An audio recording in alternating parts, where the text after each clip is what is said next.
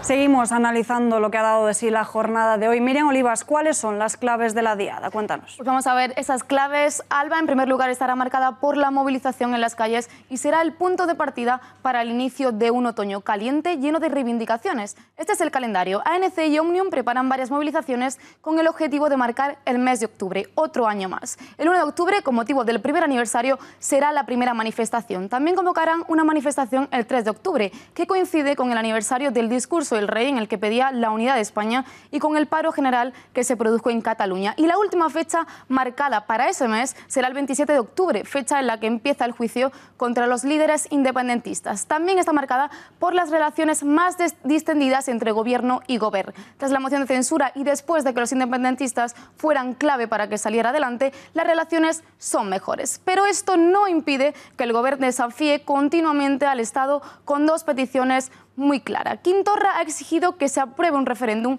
de autodeterminación y también la continuada exigencia de la libertad de los encarcelados por el proceso.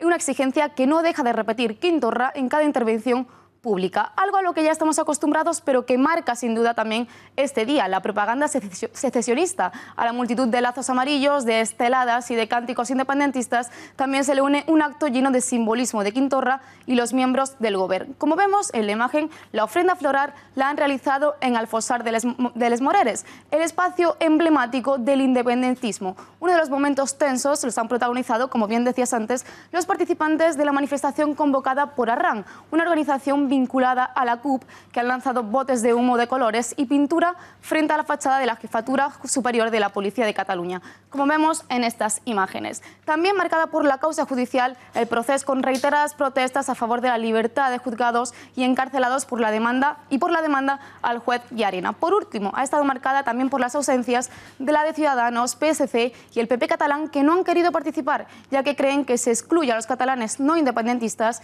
que son la mitad de la población